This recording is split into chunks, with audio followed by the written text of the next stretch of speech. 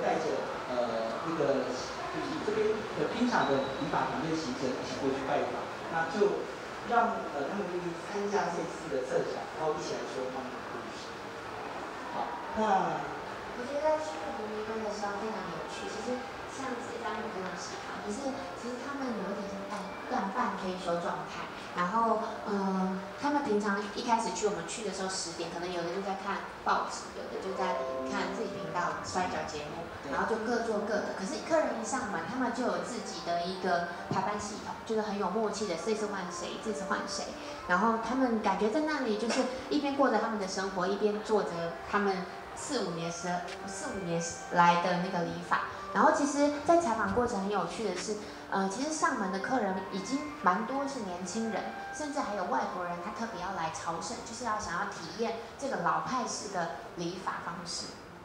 然后我再跟大家补充一个小地方，就是各位可以看到，一般去理发商楼，它放的是那种时尚杂志、八卦杂志，不是，它旁边放的是那种很厚的印象馆电视。好，然后就是那个我我我上上次那个新年提到，就是说我我去理发的时候，本来那个电视，他问我要不要看电视会无聊，我说好啊，他转新闻给我看，然后看看以后呢，这个这个已经有八十岁的那个理发师，他在旁边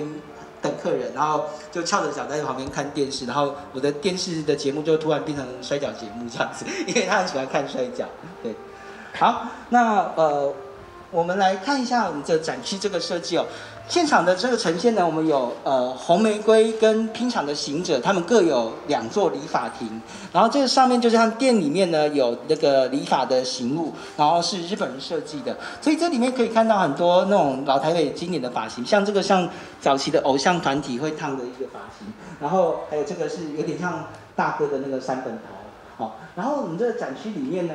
呃，我们给大家看一下，里面是有个像镜子一样的地方，然后左右左左边左右两边呢有那个红玫瑰理发厅的一些理发工具，包含老师的那种那个吹风机啊，然后还有那个理发剪啊，然后右呃右边这边呢有他们呃那个会用来加热毛巾消毒的那个加热消毒箱，然后下面有那个液晶电视，然后前面这边有有很多经典的老台北的发型啊。待会呢，大家可以呃进来体验一下，把这个发型要怎么样套到自己的头上。这边先跟大家讲步骤有一个三，先拿出你的手机，然后摆在呃你的左前方或是右前方。然后呢，呃你的手机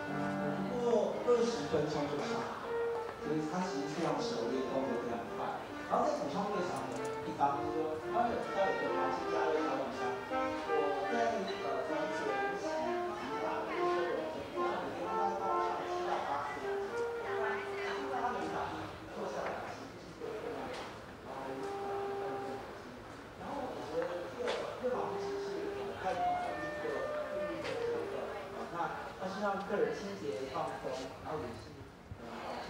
非常大的一个好，那我们来看一下跟他来拼场的是这些爷爷奶奶拼场的是什么样的一个一个？他其实是七年级的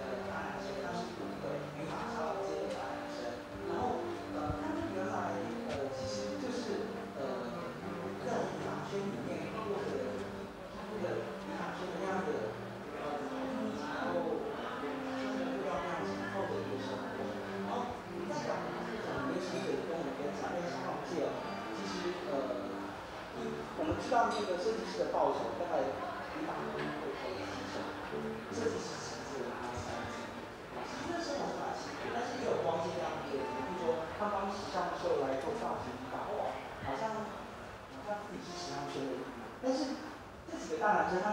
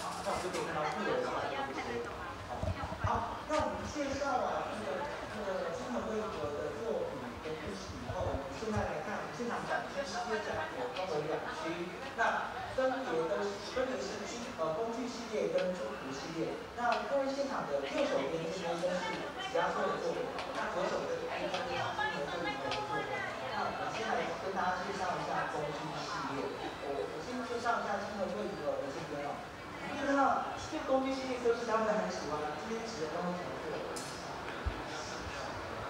有